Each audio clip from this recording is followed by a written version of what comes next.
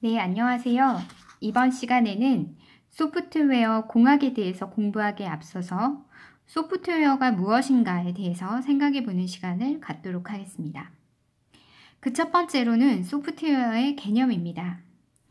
소프트웨어는 컴퓨터를 동작시키고 어떠한 일을 처리할 순서와 방법을 지시하는 명령어 집합으로 구성되어 있는 프로그램, 그리고 그러한 프로그램의 수행에 필요한 절차나 규칙, 관련된 문서 등을 모두 포함하는 개념입니다. 개념도에서 보시면 저희가 흔히 이야기하는 컴퓨터라는 것은 하드웨어와 소프트웨어로 구성이 되어 있습니다. 하드웨어는 CPU나 메모리, 디스크와 같은 물리적인 장치를 이야기하는 것이고 소프트웨어는 이러한 물리적인 장치를 이용해서 사용자와 사용자가 요구하는 그런 기능들을 구현하는 것을 이야기합니다. 이러한 소프트웨어는 시스템 소프트웨어와 어플리케이션 소프트웨어로 구성이 되어 있습니다. 시스템 소프트웨어라는 것은 가장 대표적인 예가 운영체제이고 이러한 CPU나 메모리 등을 컨트롤하는 역할을 수행하게 됩니다. 그리고 어플리케이션 소프트웨어를 구동시키는 역할도 하고 있습니다. 그리고 어플리케이션 소프트웨어들은 저희가 흔히 이야기하는 오피스 프로그램이나 웹 어플리케이션, 뭐 게임 어플리케이션 이러한 것들을 모두 어플리케이션 소프트웨어라고 이야기합니다. 이렇듯이 소프트웨어는 무형의 형태이고 논리적인 구조를 가지고 있습니다. 그렇기 때문에 일반적인 하드웨어와 달라서 특징에 대해서 잘 알고 있어야 합니다. 소프트웨어의 특징을 보시면 첫 번째가 비가시적인 특징을 가지고 있습니다.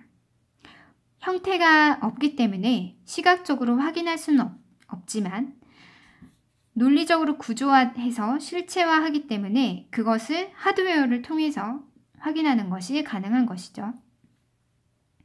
다음으로 복잡성이라는 것은 소프트웨어는 단일 기능을 구현하기보다는 다양한 기능들이 구현되어 있고 그것들이 복합적으로 연계되어 있, 습니다 그래서 그것을 구현하고 만들어내는 과정 역시 복잡하게 됩니다.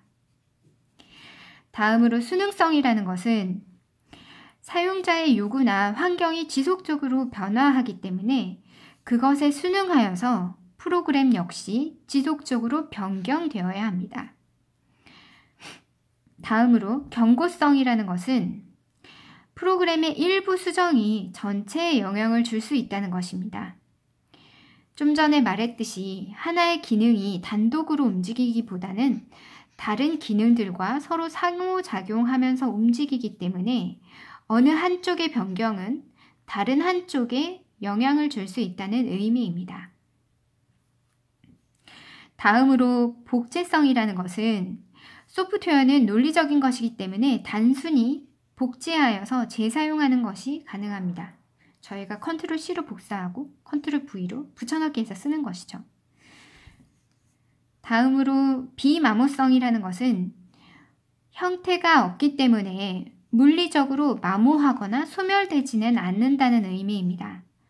하드웨어와 같은 경우에는 몇 년 사용하면 고장이 나거나 또는 음, 마모되거나 성능이 저하되거나 하는 특징이 있지만 소프트웨어의 경우에는 기능의 변경이 없다고 하면 그대로 사용이 가능한 것입니다.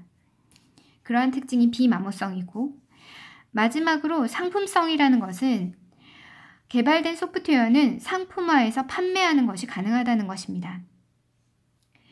이러한 소프트웨어의 특징을 고려하여서 소프트웨어를 생산하여야만 고품질의 소프트웨어를 만드는 것이 가능합니다.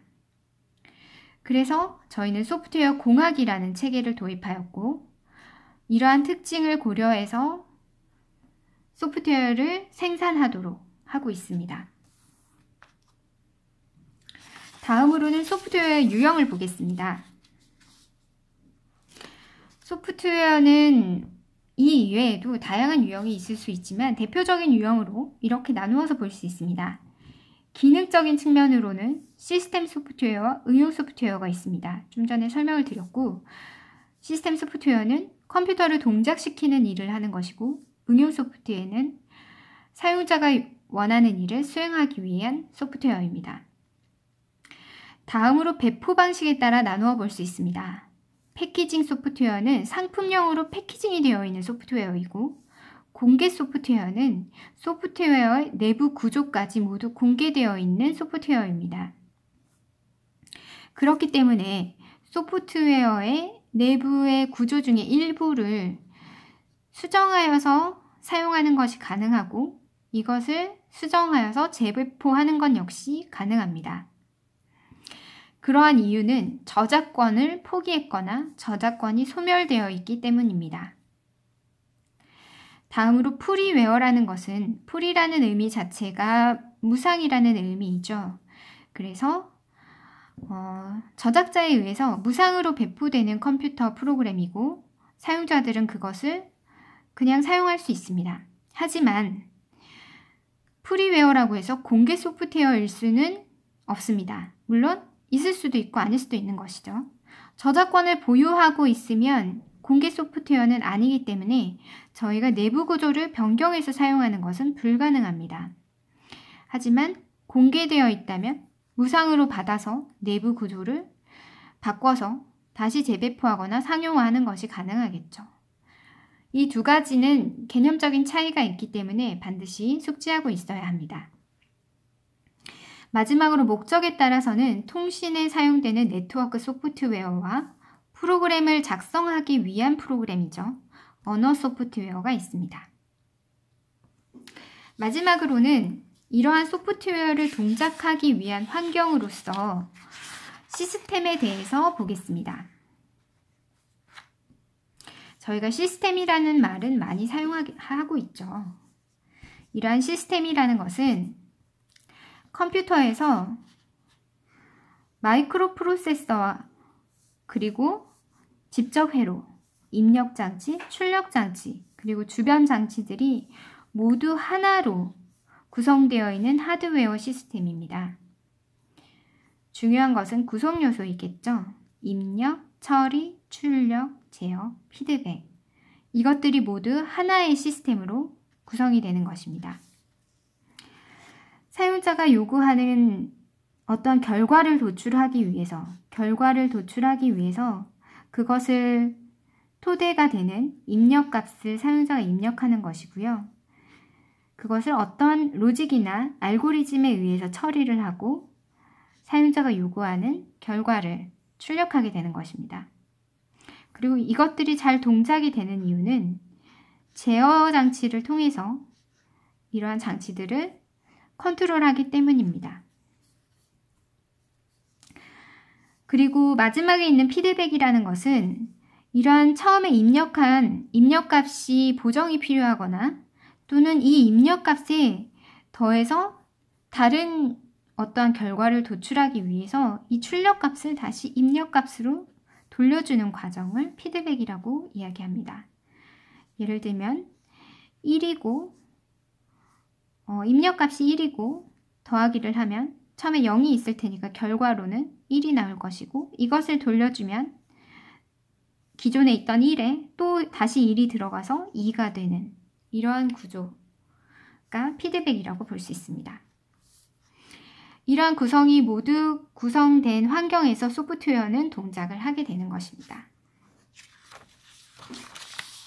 이렇게 저희는 오늘 어, 소프트웨어와 시스템에 대해서 어, 다시 한번 정리해보는 시간을 가졌고 반드시 숙지하셔야 될 부분은 요 소프트웨어의 특징에 대한 부분 그리고 소프트웨어를 동작시키기 위한 시스템의 구성 요소 부분을 반드시 숙지하고 있어야겠습니다.